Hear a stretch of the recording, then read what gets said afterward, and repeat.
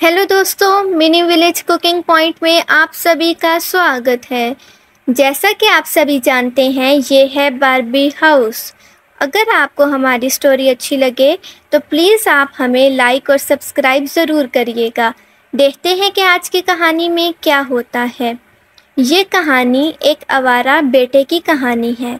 उसकी माँ दिन भर मजदूरी करती है, कपड़े सिलाई वगैरह करती है और उसका बेटा बहुत ही आवारा होता है, क्योंकि वो ना ही तो पढ़ाई करता है और ना ही कोई काम करता है और बहुत ही बदतमीज़ होता है। इतने ही में राहुल आ जाता है, कहता है, मम्मी, आपके पास कुछ पैसे हैं तो मुझे दें, मैंने बुक्स वगैरह ख़रीदनी है।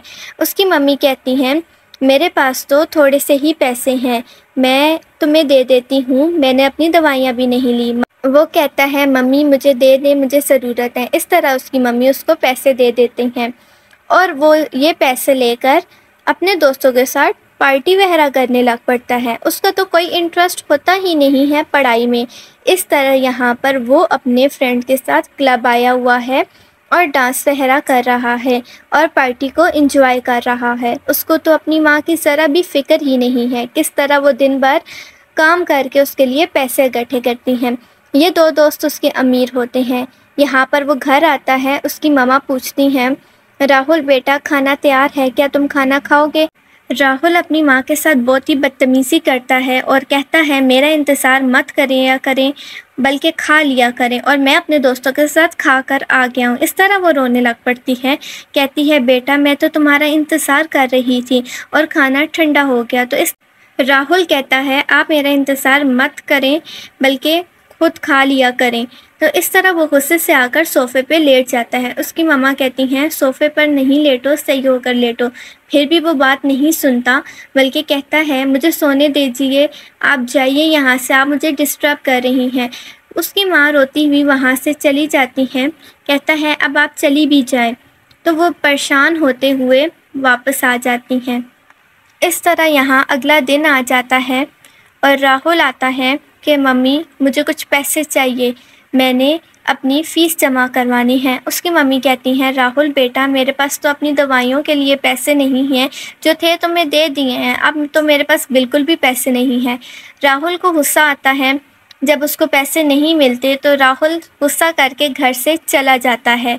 कहता है, चले, कोई बात नहीं, मैं जा रहा हूँ।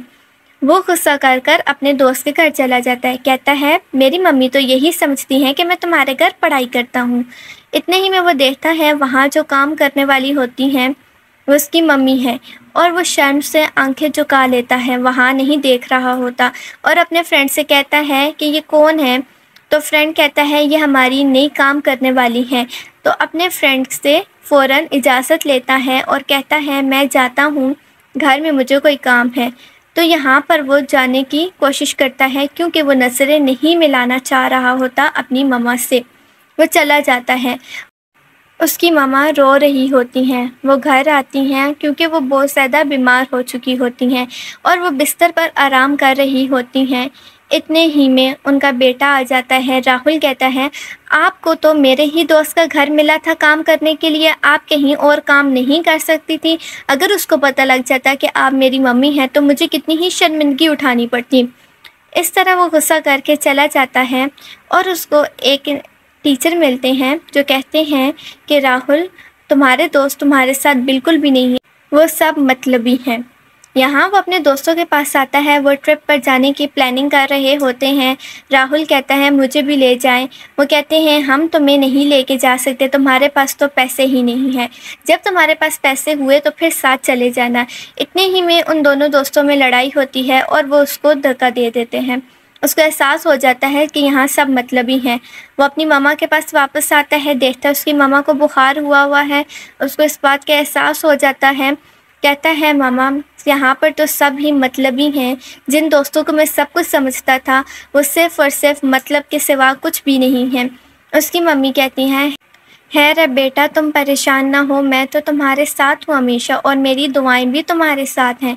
तो अपनी माँ से माफ़ी मांगते हैं और कहते हैं, मैं अभी मार्केट जाता हूँ और आपकी मेडिसिन लेकर आता हूँ। आप बेफिक्र रहें।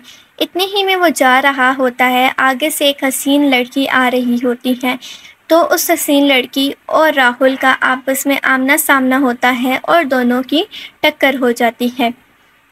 वो हसीन लड़की ज़मीन पे गिर पड़ती है। राहुल कहता है, मैम, आपको कुछ हुआ तो नहीं, मुझे माफ़ कर दें। तो वो आगे से कहती है, बस कुछ नहीं, कोई बात नहीं, आपसे गलती से ही लग गई होगी। तो वो राहुल कहता है, मैं बहुत परेशान था, अपनी मामा की मेडिसिन लेके जानी थी और उस बेख्याली में आपसे जा टकराया।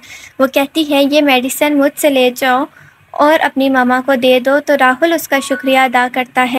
और दवाइयाँ लेकर अपनी मामा के पास चला जाता है। अपनी मामा की बहुत ज़्यादा खिदमत करता है और उनको वक्त पर दवाइयाँ देता है और साथ ही साथ फ़ोटोग्राफ़ी का काम शुरू कर देता है।